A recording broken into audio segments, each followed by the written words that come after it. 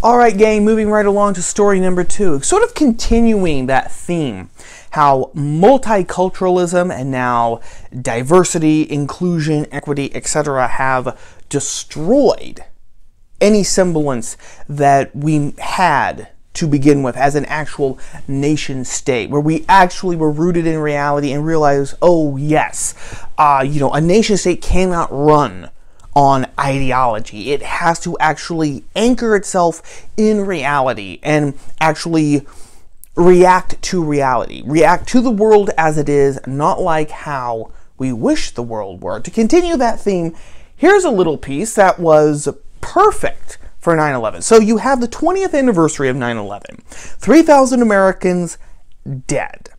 And what did we tell ourselves about 9 11? What did we tell ourselves? What was the excuse that we gave about why these jihadi scumbags would kill themselves and a whole bunch of innocent other people to fly two commercial airline planes into the Twin Towers in New York City.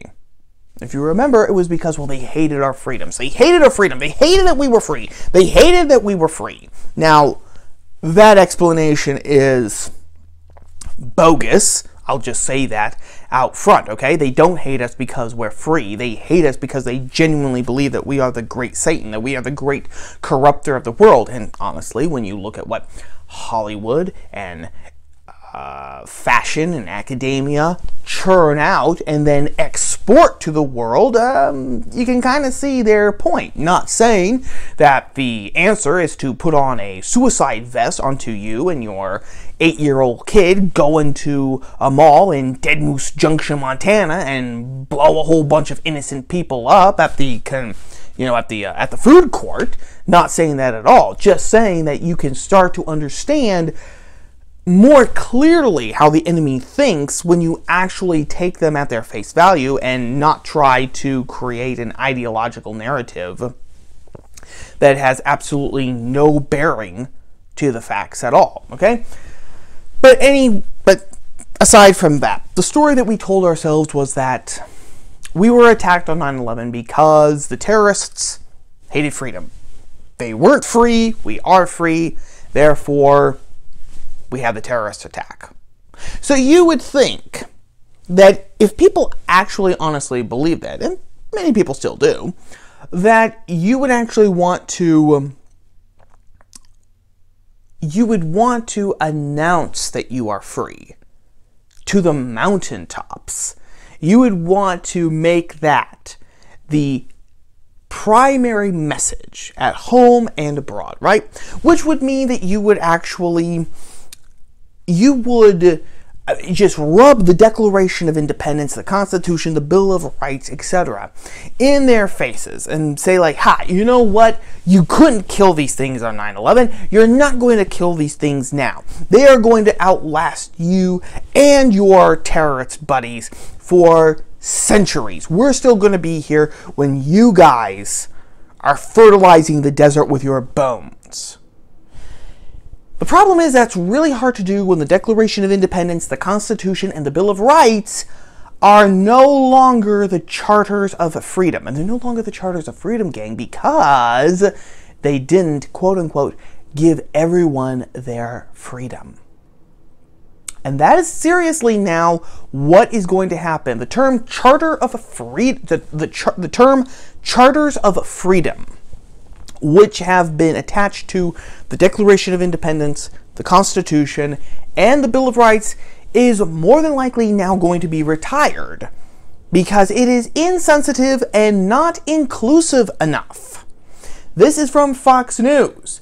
National Archives Racism Task Force members rip Charters of Freedom label for Constitution and the Declaration. So, to rehash this, a few months ago, back in May, the National Archives, the the official federal government body that is responsible for actually preserving American history set up a task force to decide whether or not the National Archives itself was guilty of racism. For example, they said that all of the paintings in the rotunda okay, under the Capitol Dome, which is actually where, um, you know, where you have scenes, for example, of uh, moments of American history. I believe it's the uh, inauguration of George Washington. Um, there's one I believe of the signing of the Declaration. But anyway, those those pictures, so those paintings on the rotunda, and in the National Archives too, illustrating key moments in American history would have to be scrapped and redone because well they're just they, they, they don't represent minorities like blacks and women enough.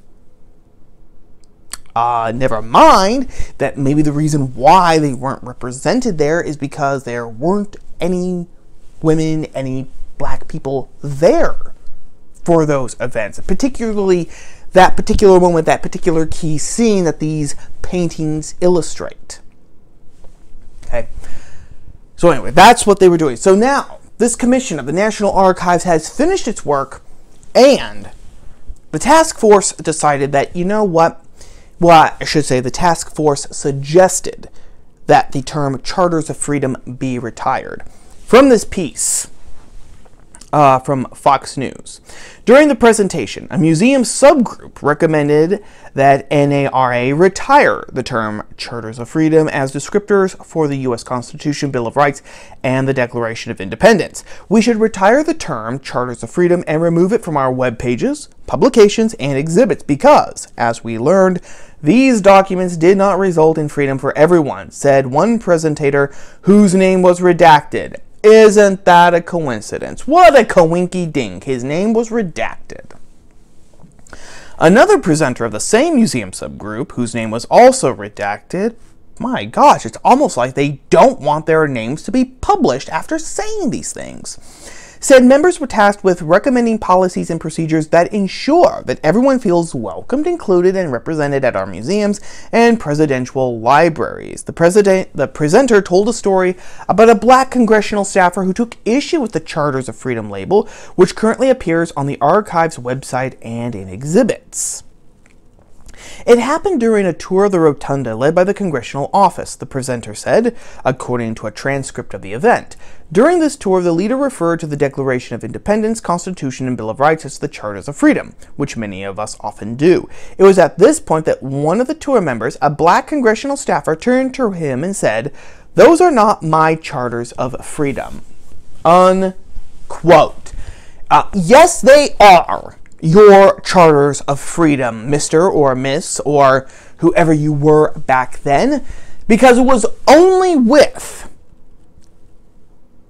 the American Revolution, which was made official by the Declaration of Independence, and then with the formulation of the actual United States officially under the Constitution, that you were eventually made free. First of all, there's a very, very big possibility that this person has absolutely no right to even say that the Declaration and the Constitution aren't his charters of freedom because it's very possible that he wasn't even related to American slaves. I do believe that the vast majority of Africans who emigrated to America came after the Civil War. In other words, after slavery had already been abolished. That's the first point. The second point, as I have said, I believe, several times before, it was the American Revolution, the principles of the Revolution, that actually started the anti slavery movement here in the United States to begin with. It was only after Americans had fought for their freedom, fought for their independence from England, that they then turned around and said, hum, you know what? This whole slavery thing doesn't really gel well with this whole revolution that we were just fighting five minutes ago. We're going to have to look at that. And that is completely true. It is after the revolution that you have states such as Massachusetts and New York and New Hampshire outlawing slavery. There had never been a lot of slaves in those northern states because of temperature, climate, um, agricultural practices there, etc. But there had been a few. After the revolution, abolition laws are passed saying, nope, slavery is not going to be here.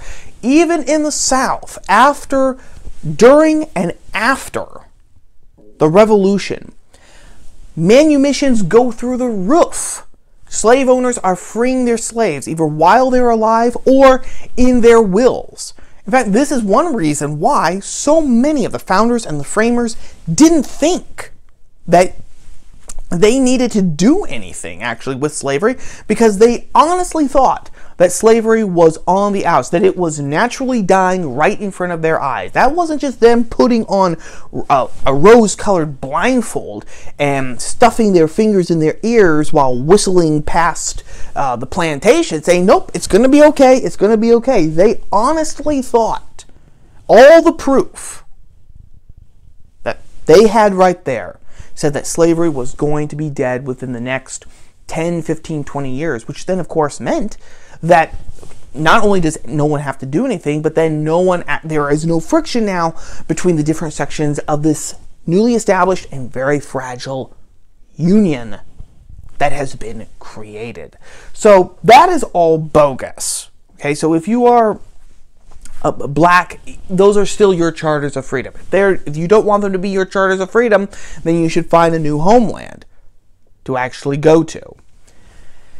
Now, I could keep going on like this, gang.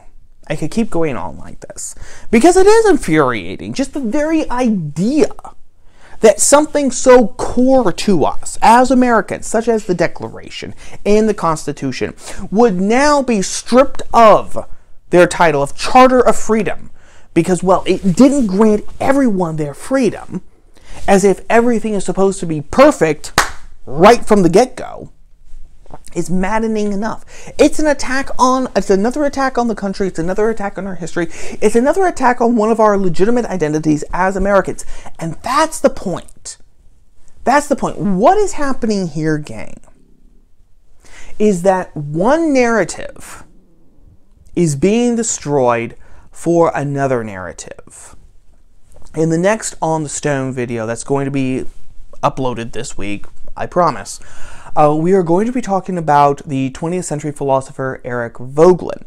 And we talk about Voegelin, we're going to be talking about Voegelin and Gnosticism and leftism and all that good stuff. But Eric Voegelin, another one of his big ideas was that all nations fundamentally operate because of a mythology. Nations exist because of a mythology. He argued in several places that language itself is simply the expression of a mythology. If you don't have a mythology, you don't have a people.